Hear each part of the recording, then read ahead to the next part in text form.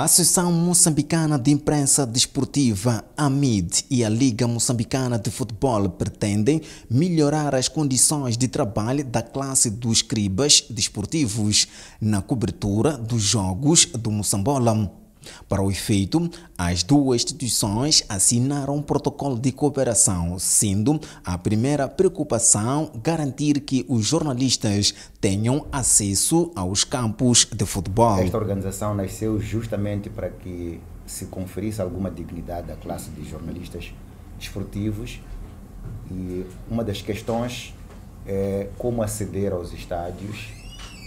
Dentro do estádio, que condições é que são reservadas aos jornalistas, como é que deve ser feita a cobertura jornalística e o, o país está a evoluir, não deve ficar fora da, da órbita do futebol, porque o futebol tem regras próprias impostas pela CAF e pela FIFA. da, da CAF e da FIFA, há regras para o acesso a esta informação desportiva. E então, com a criação desta associação, entendemos que deveríamos estabelecer e trazer aquilo que são as regras, as boas práticas, as boas regras internacionais, mas também olharmos para aquilo que é a nossa realidade no nosso país quanto ao acesso uh, dos jornalistas, uma vez que já estão organizados em associação, então temos aqui um interlocutor direto para saber com quem nós temos que lidar, com quem nós vamos trabalhar, portanto, no Campeonato Nacional. Dão Matimbe, presidente da MID, espera que, com a assinatura deste protocolo, os clubes colaborem para o desenvolvimento do futebol em Moçambique. Os clubes poderem obrigatoriamente prestarem declarações à comunicação social, porque no fim pretendemos que o produto Moçambola seja valorizado. É um produto que todos os dias nós que vivemos do futebol falamos dele e reclamamos às vezes que não há público nos estádios. Então, a nossa contribuição é trazer um documento que obrigue estes atores a estarem sempre presentes nos nossos órgãos de comunicação social. E como será a acreditação dos jornalistas para a cobertura dos jogos do Campeonato Nacional de Futebol?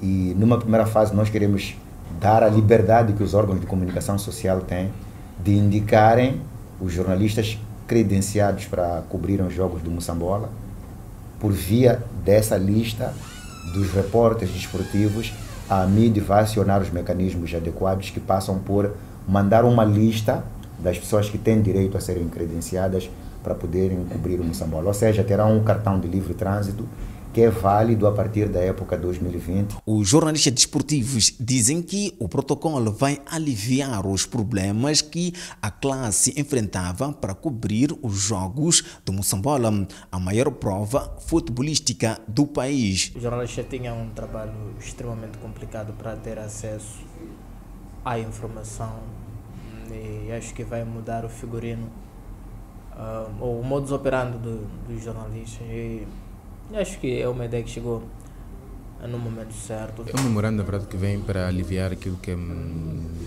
eram as, dores, digo as dores que o jornalista desportivo sentia, quase que em algum momento posso dizer humilhações que passávamos para uh, cobrir principalmente o Moçambola. Além de facilitar o trabalho dos jornalistas, a MED vai também participar na eleição dos intervenientes desportivos que destacaram ao longo do Campeonato Nacional de Futebol.